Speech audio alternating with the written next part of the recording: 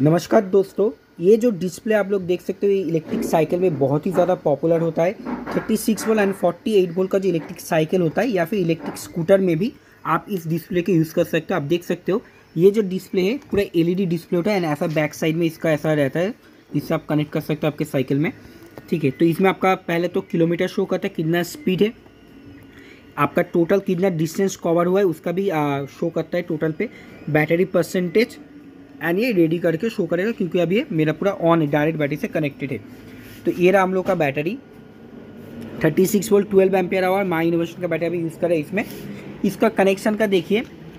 देखिए, ये साइड पे देखिए, इस स्विच को मैंने कनेक्ट किया है। एक साइड देखिए, ये इंडिकेटर के लिए, एक साइड राइट इंडिकेटर के लिए।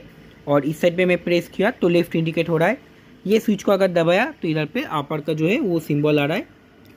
ठीक है? और इसमें दोस्तों और एक जो वायर रहता है, ये व्हाइट कलर का जो वायर रहता है